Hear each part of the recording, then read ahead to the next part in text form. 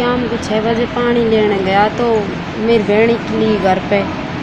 तो उसने आपके पास में बिठा रखी, बच्ची को गो, एक बच्ची गोदी में ले रखी, एक पास में बिठा रखी। तो उनने मना करा कि वन ने बोले कि चाची, मैं ला ले खिला लूँगा। तो वन मना करा कि मत खिला, आप दारू वारू पे कहीं पे ले जाओगा। जैसे वन लाली उठाई तो ऐसे ही वन पैर पकड़ लियो मेरी बहन ने। पैर पकड़ते ही तो उन लोगों ने छुड़ा के नहीं भाग। गया भागने के बाद में वे कल करीब दो किलोमीटर दूरी पर ले गया हमने खूब घर पर ढूंढ लिया, पर हमको बच्ची नहीं मिली। आज शाम को हमें सूचना मिली कि हरसाना के अंदर एक साथ माँ की बच्ची के साथ में कुछ गलत काम किया गया।